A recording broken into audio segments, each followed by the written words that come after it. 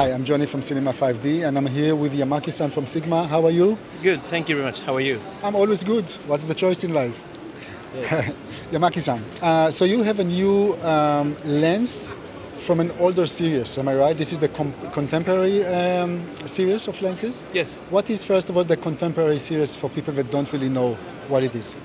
Yes, uh, contemporary series uh, follows a very traditional uh, and very uh, normal uh, design approach. I mean, we take the balance between the, the performance and the size, weight, and cost. So this is a very normal uh, design approach that almost all other companies normally takes. When it comes to art series, we just uh, prioritize uh, performance. So we don't prioritize the cost or size or weight. We just prioritize the, the optical performance. That's the art series. Of the art lenses. So Yes. art is above when it comes to the total performance. Uh, I would say uh, yes. So what is so special about this specific lens? First of all, you just released the 16 millimeter. Yes. Uh, this is a brand new 16mm f1.4. Uh, we released this lens for uh, Sony E-mount and uh, micro Four Thirds. So this this uh, this glass is uh, designed dedicated for uh, mirrorless cameras.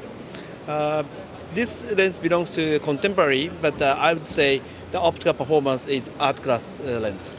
Okay, so it's an art class lens performance, but you you told me a bit earlier that you're also relying on the camera to correct a little bit of the aberration and so on. Yes, uh, actually, uh, we rely on the distortion correction.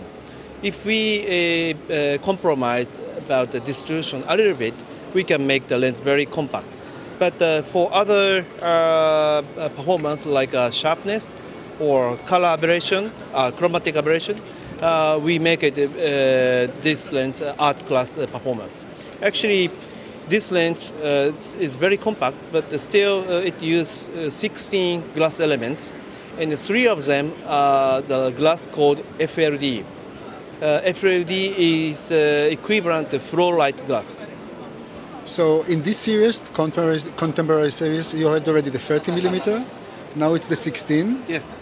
And Uh, this 30 millimeter it was released last year, uh, last spring, and this uh, lens uh, will be released uh, like this uh, month, and uh, another one, a mid telephoto uh, lens for uh, mirrorless camera, will be available uh, in the future.